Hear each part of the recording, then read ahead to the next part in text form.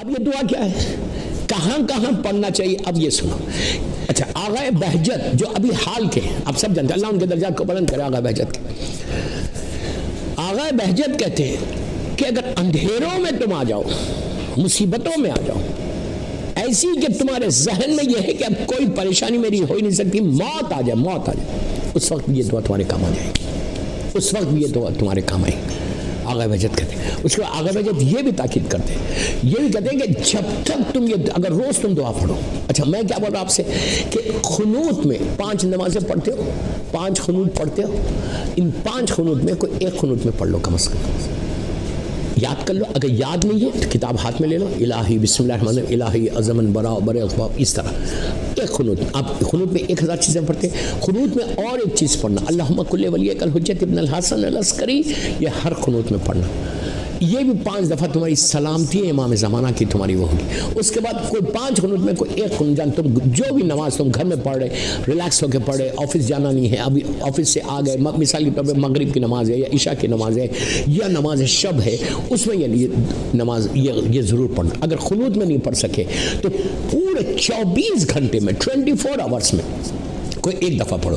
उसके बाद और एक आपको बता दो, आप सुबह में ऑफ़िस के लिए निकल रहे हैं, बिज़नेस के लिए निकल रहे घर से निकल रहे वापस आए तक तुम्हारे प्रोटेक्शन के लिए बेहतरीन दुआ। अब इससे ज़्यादा क्या बोलूँ यार? जिस मकसद के लिए तुम जा रहे हो, उस मकसद में कामयाब हो गए। इसमें वास्ते देख लो खाली। जमाने के इमाम को आप वास्ता दे रहे या मोहम्मद हो या अली हो या अली हो या मोहम्मद। इससे कोई वास्ता इमाम अपनी जबान के मैं बार बार आपको इससे इसकी इंपॉर्टेंस के लिए बोल रहा कि जमाने के इमाम की जबान पे ये जुमले निकले तो कितना बड़ा वास्ता है कि अल्लाह तो बचा ले, या मोहम्मद हो, या अली हो। या अली हो, या मोहम्मद। एक फियानी फन कुमा काफिया। आप अल्लाह तू हमारे लिए काफ़ी बन जा अगर ये तो वास्ते कि तुम बोल कि अल्लाह, तू मेरे लिए काफ़ी बन जा। तो अगर अल्लाह किसी के लिए काफ़ी बन जाए तो you think you will have any problem कोई प्रॉब्लम आ सकता? कोई परेशानी आ सकती? अगर अल्लाह हमारा काफ़ी बन जाए, सबसे बड़ी चीज़ वही है। इस चीज़ को पैदा करो। ये ट्रस्ट को पैदा करो। मैं क्या बोला लड़का, लड़की, औरत, में शादी नहीं हो रही तुम्हारी। हस्बैंड एंड वाइफ का प्रॉब्लम है। ये ट्रस्ट आप पुकारो इस तरह दुआ वो लड़कियों को बोल रहा इसलिए कि सुबह शाम यही मैसेज जैसे कि मौलाना ये दुआ बताओ ये दुआ बताओ ये दुआ बताओ ये दुआ प्लीज़ मैं आपके फ़ायदे की बात कर रहा हूँ। औरतों को बोल रहा हूँ।